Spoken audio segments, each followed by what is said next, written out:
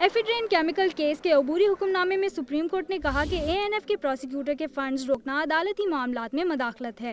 Secretary DG ANF का ओहदा नहीं संभाल सकता। सुप्रीम कोर्ट ने इस तगाजा के फंड्स बहाल करने और एएनएफ के डायरेक्टर ब्रिगेडियर अख्तर की वापसी का हुक्म दिया, जबकि डीजी शकील अहमद की वापसी का फैसला फौज को करने का कहा।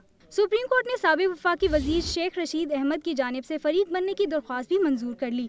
इससे कबल सेक्रेटरी इंसदाद मनशियात ज़फ़र अब्बास ने बयान रिकॉर्ड करवाया। उनका कहना था कि एएनएफ के अफसर बागी हो चुके हैं। वो उनकी गिरफ्तारी के लिए आ गए थे।